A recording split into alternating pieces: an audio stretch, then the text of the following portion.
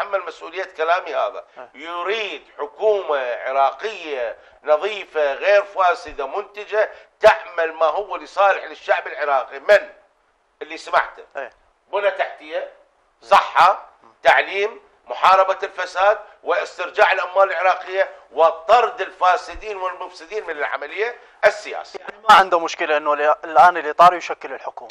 أنا هذا ما تكلمت بها لأن هسه أنا حساس الوضع صار. فكل كلمة محاسب عليها. السيد الصدر يريد رئيس وزراء ورئيس حكومة يقود البلاد إلى بر الأمان حتى لو لمرحلة قادمة. يبني أساس لأنه يعني حسب ما قاله وبالضبط راح أقول لك يا حسب حتى ما سيد حازم الأعرجي.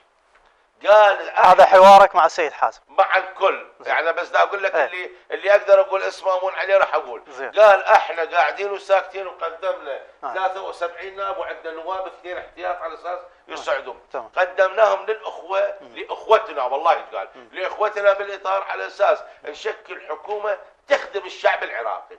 وإلا رجعنا للمحاصصة. طيب باكر إذا انباقت الخزينة ووزير العدل ما اشتغل ووزير الصناعة ما اشتغل. ووزير البيئة ما اشتغل وإلى آخره. شيخ ثواني. يلا تفضل. المن نحاسب أها. وإذا حاسبنا يا سيادة النائب هذا سؤالهم نعم. منو راح يكون مقابلنا نحاسبه ولا يقولوا لنا محاصصة جيد. إحنا آه. السيد سماحه السيد مقتدى الصدر يريد يشيل كلمة محاصصة من العملية السياسية ممتاز